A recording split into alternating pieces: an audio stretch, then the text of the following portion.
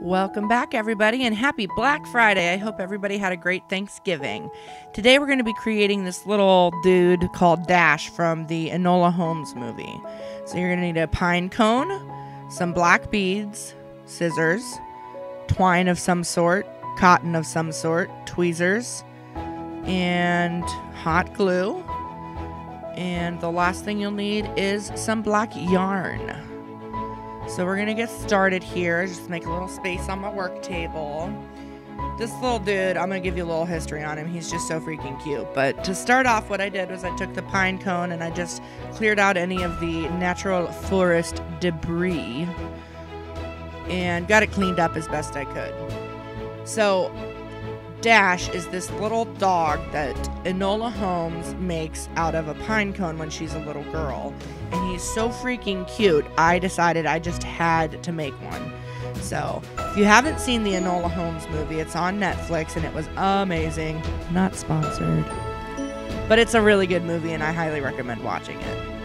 So once we have the pine cone all cleared out, oh man, I'm so bad about that with my phone making noises. I'm so sorry. Let me just fix that right now.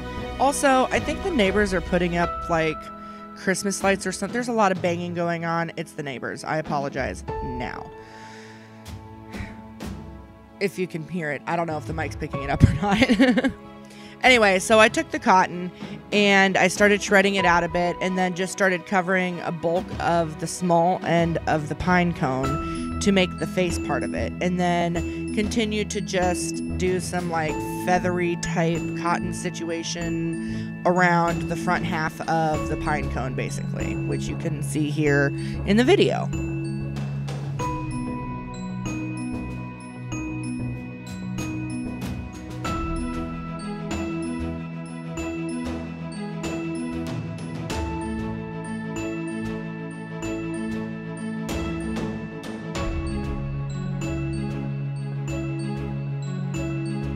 So now that I got the cotton to where I'm liking it, I'm going to go ahead and pull out two of these black beads. These are just pony beads. You can use whatever you want. You don't even have to use beads technically. You could use the black yarn for this also, but I wanted to use these beads. They seemed like the perfect size and I was right. Kind of happy about that. So I just took the hot glue and then I placed the pony bead where I wanted the eyes to be, but I did it so that uh, the I don't know, the side of the bead is sticking out forward. I didn't want the whole of the bead to be sticking out forward. So that's how I did this. And then once these beads got glued on, I just ended up making with the cotton. Again, you could use like cotton balls or something that might be easier. I don't know. But I just made these like little tiny snake like cotton snakes or whatever to make the brow bone so that it looked like the eyes were inset into the cotton.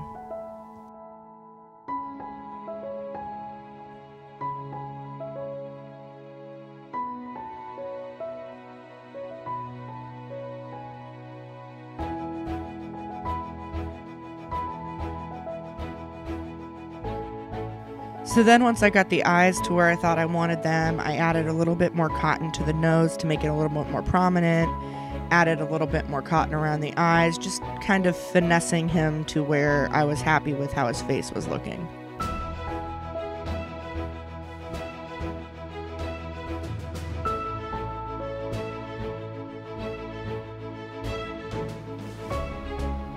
So now that that's done, it's time to pull out the yarn. And this was the fun part. This is, I was making his ears this way. So I just took a length of yarn and didn't have a specific amount or anything. I just thought that looked good. And then I separated the individual strands of the yarn. So this is just a basic black yarn you can get at any craft store, you know, anywhere.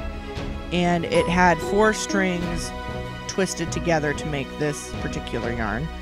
So I just separated all four strings and then once I got them all separated, I lined them all up together, folded them in half, cut them apart on the bottom, and then folded that in half again and cut that apart and then glued it onto his ear.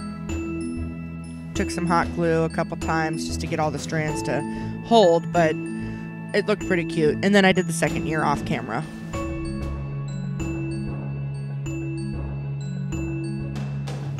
So next I went in with just a small piece of yarn and cut that in half and one half of it I just balled it up in my fingers to make the nose and then took the other half and separated that into the four strands as well because I needed these little pieces to make his I don't know his mouth? I guess it's the mouth that connects from the nose. So that's what I took for that I just took these little short strips and separated them to use for that part. So then I glued, I did a glue line in a little bit of a curve so that it would stay hopefully in a curve position and it worked pretty well. Then I used my tweezers to place it because my hot glue gun is a high temp hot glue gun and I already had burned my fingers quite enough. So I was using the tweezers. So be careful if you're using hot glue.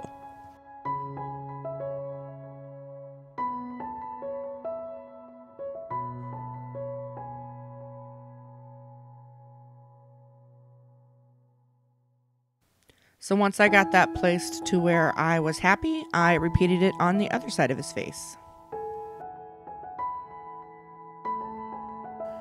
Then I went in and added another little drop of glue and glued on his little bitty nose.